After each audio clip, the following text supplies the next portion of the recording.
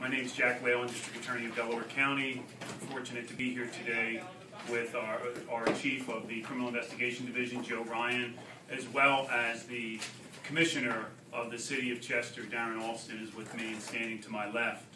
Know, it's always disturbing when we have to announce uh, that one of our own, a police officer in the City of Chester, has been arrested. Uh, Today, we're announcing the arrest of Officer Roosevelt Turner from the City of Chester.